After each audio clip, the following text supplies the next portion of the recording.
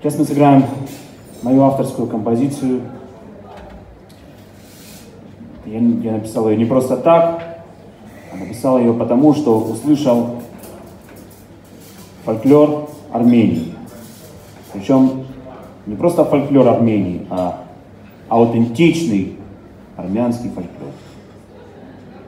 И сейчас прозвучит одна из композиций вот в таком духе, которая написана на стыке джаза, на стыке традиционного джаза и армянского этнического фольклора. Называется она «Арарат».